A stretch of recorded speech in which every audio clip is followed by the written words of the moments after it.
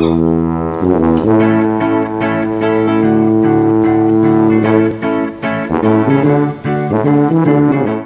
morning. I'm editing the vlog from Friday. It's now Sunday, you know, because we don't uh, vlog on the weekend, Saturday. Yeah, that was a, just a short video of when we got attacked. Basically, Sinai has uh, people who are linked with Al-Qaeda. Egypt is not attacking us, but they are Egyptian Al-Qaeda, basically. Brotherhood of... Uh, oh, I forget. I, I don't know the details. I don't watch the news, whatever. Uh, Hadar tells me, you know, because he is subscribed to an Israeli news site. So there's like a code red or some kind of channel on that news site that tells us like immediately what happened. We heard the rockets in the air and, and uh, usually what they attack us with, I believe, is called a grad rocket. Uh, they're not really big. When it hits, it can do devastating damage, but usually it doesn't hit anywhere.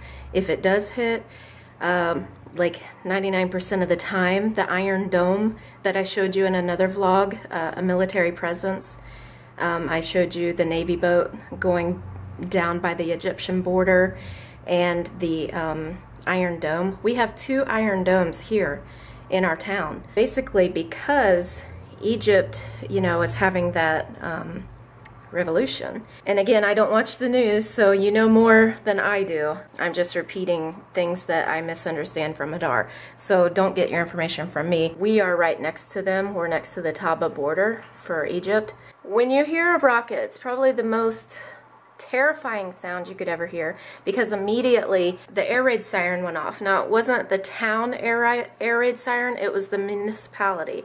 That's why it wasn't very loud. So we heard the rocket go up and it whistles. And then we heard two explosions and that was the Iron Dome exploding the rockets in midair. So uh, they don't even know where it landed. They still haven't found it. The Israeli army, 24-7, night and day, constantly watching for you know, missiles and rockets. So I do feel safe. But I guess I am becoming a little Israeli because 30 minutes after that happened, I was able to sleep like a baby. And life just goes on, you know, you don't think about it afterwards. We've, we've been attacked this month already. Uh, but before we were attacked last year, I think it was around August, but we were attacked uh, last January as well. But I think around August time we were attacked and I wasn't able to sleep because uh, we had two attacks and I heard both of them. One time the Iron Dome was not on. So uh, we actually got hit and it is it is pretty terrifying actually. The most terrifying thing is the whistling rocket. Like you hear it. You hear it whistling.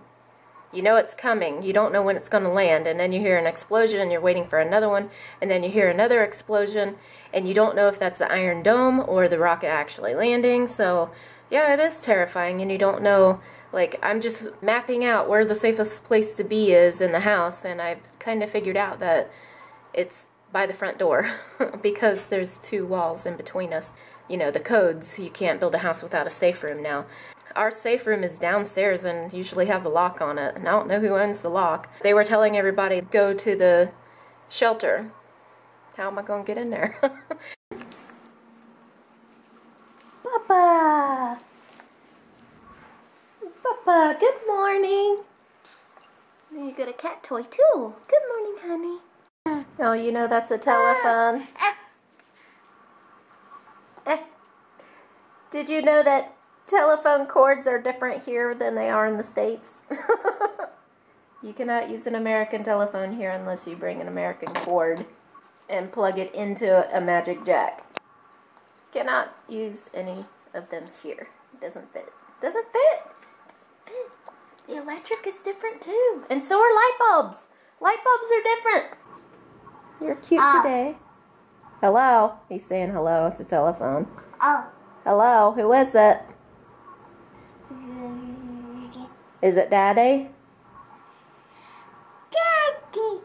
Hadar had to go to a funeral today. A guy that Hadar works with, his dad died, so pretty much all the NCOs that work together, they went to the funeral today.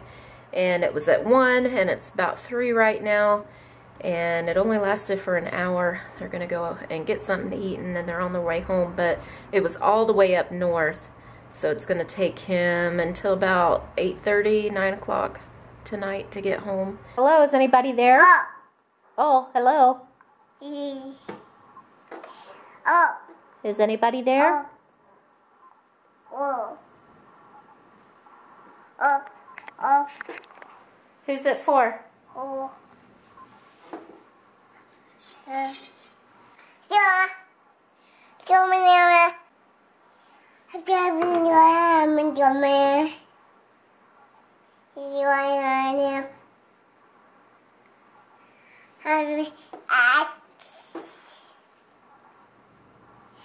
Oh. I'll be done. Oh. You gonna go play? I'm going to juice. Yeah, I'm going to play. Oh, oh, God. It's. Yeah.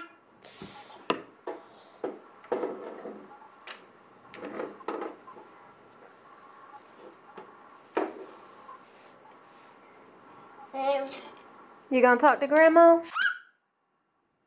Kitty. Kitty, yes.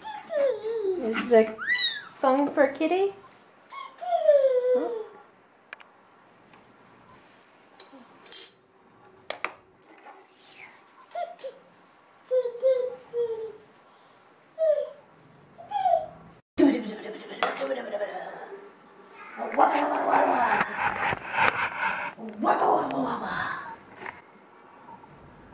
What the?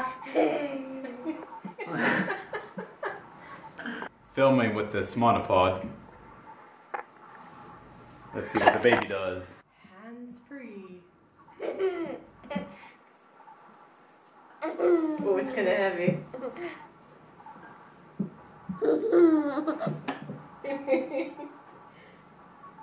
Unnecessary camera angles. Hey, Alpha. Chicken first.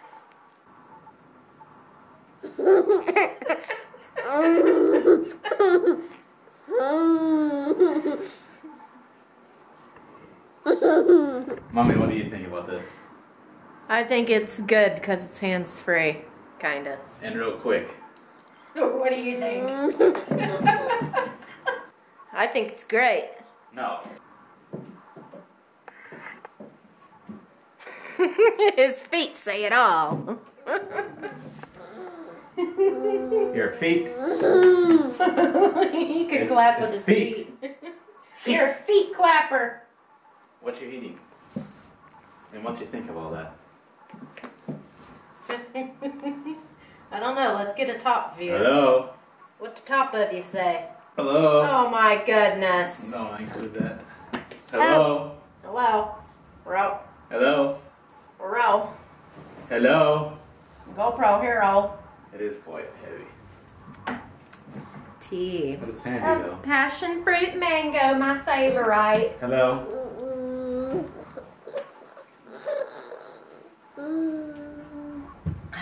I love that stuff. In this dresser, I have three drawers. One for shirts. I promised I'll do a shirt review because Andrea says I have too many, and I want to show you that I really don't.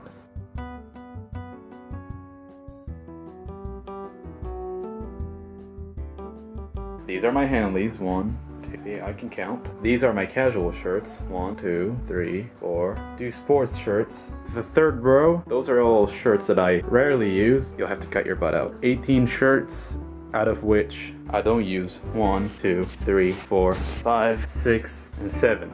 You can cut out all the mathematics, Andrea. You got more shirts than I got. Now, some of these are too tight because they're Israeli. This is one of them. As you can see, it's very tight.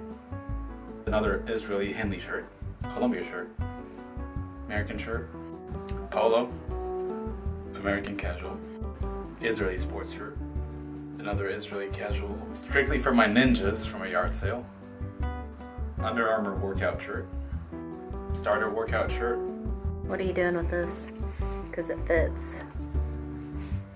This shirt is kind of big, but I'm keeping it because it's high quality. This shirt and the other red shirt I'm going to show you in a second. When I say too little, I mean it fits nice and all, but it's too little. Crack kills. It's too little. Yeah. This is the second shirt, and as you can see, it's a little, what do you call it? Baggy. But still. Mm-hmm. Now this I've had since I was 15. Use it for workouts. Now this shirt is too tight all over here, so I'm gonna give that one away. I never use it, I don't have a reason to. This is a Stewie shirt that was way too baggy. The way it's made is baggy, and when it had sleeves, it was just weird looking, so I cut the sleeves. I don't ever use this one either, I don't use sleeveless shirts basically. Okay, so you've seen it before, and this is the after shot. And I just got rid of five, so Andrea loses. Or do I? If you like this video, give it a thumbs up. Have a great day. See you tomorrow. A kitty. Sus. Wee. Hate and spite met. There's bombs out there. It's not a bomb, it's uh, terrorists.